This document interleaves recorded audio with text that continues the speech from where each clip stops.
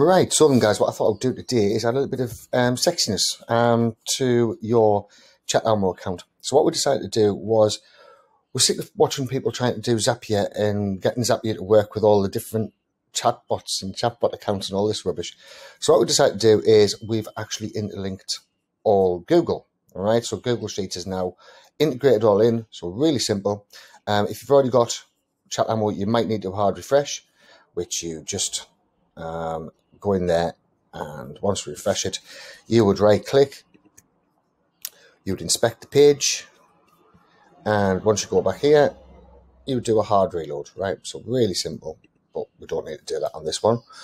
That's just in case you need to do it. Right, so what we're going to do is we're going to go in the dashboard, we're going to slide all the way down, and to go to Google API. All right, and it's going to say select your page. So you're going to go down here and select the page, everyone you want, and continue on with that one. First off, you're going to take the subscriber, right? So click on the subscriber, copy URL and start. Now you'll need to make a copy of this page, right? So just, just file and make a copy.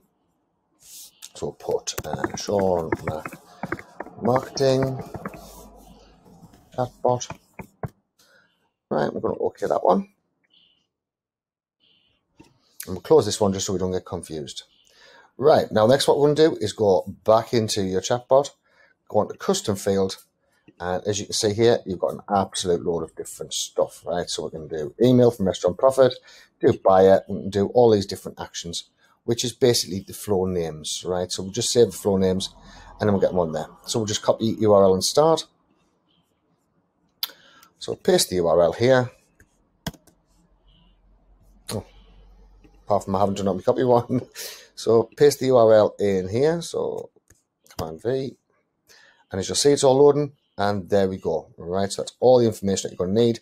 Obviously, you can do a load of other things, such as email address. So, so far, you've got your subscriber ID, you've got the names, you've got the desired location where they want to move to, because this is on the realtors one. Uh, how many square feet do you want? So 2,000 square feet. How many bedrooms would you like? Four bedrooms, and just collected the SMS on that one right? So this could then be sent off to your client. Um, it could be sent off to absolutely anything. Now, if you want to send off to client, you could integrate that via Zapier if you wanted to, or you could just directly do this on your client's um, Google Sheets, so that every morning the client could come in here, go through everybody, they know where they want the home, um, they know how many bedrooms they want, know how many square feet they want. I didn't bother asking about bathrooms to save that. Um, I could have saved the bathrooms information, I could have saved the email addresses and everything else and then just go in there and share it with the client. That simple. Right, guys, hope this has been helpful. Um, just another little bit that obviously you can add with ChatAmmo. That, well, it's another thing nobody else can do. So you're doing everything a lot faster. You're not having to pay for a Yeah, You're not having to do all like silly Zap things that you need to be doing. And it's all just integrated in there. Okay, thanks for watching and speak soon.